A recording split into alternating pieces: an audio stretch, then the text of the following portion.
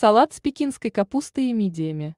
Салат с пекинской капустой и мидиями – это простой, вкусный и легкий салат, который можно приготовить на скорую руку.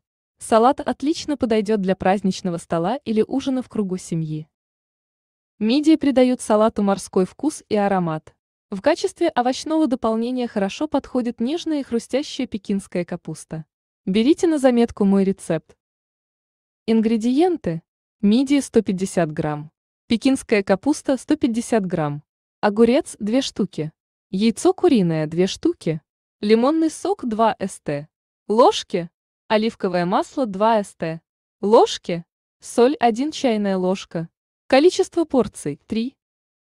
Подготовьте все необходимые ингредиенты. Яйца заранее отварите в подсоленной воде 7-8 минут. Пекинскую капусту нарежьте и выложите в глубокую тарелку.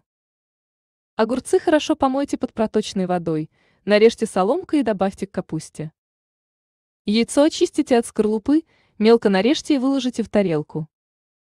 Добавьте маринованные мидии и посолите. Заправьте салат оливковым маслом, лимонным соком и хорошо перемешайте. Салат из пекинской капусты с мидиями готов. Приятного аппетита!